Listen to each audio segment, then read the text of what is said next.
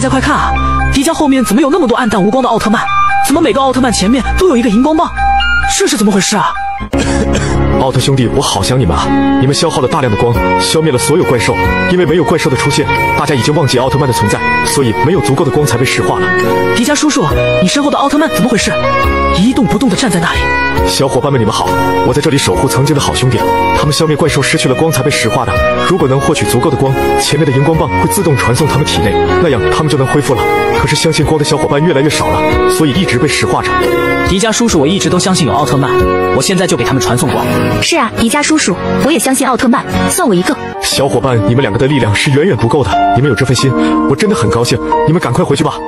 迪迦叔叔，你赶快唱一首奥特之歌，或许能听到的小伙伴都会支持你们的。就算是唱了，也不会有小伙伴喜欢听的，还不如不唱。迪迦叔叔，你再相信我一次吧，肯定有人喜欢听的。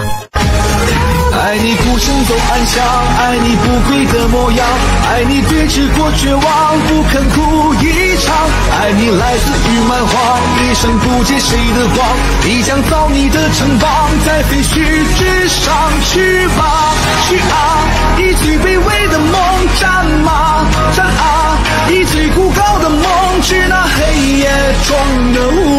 我现在就把你们以前帅照发出去，或许会有更多的小伙伴看到你们的。你相信这世界上有光吗？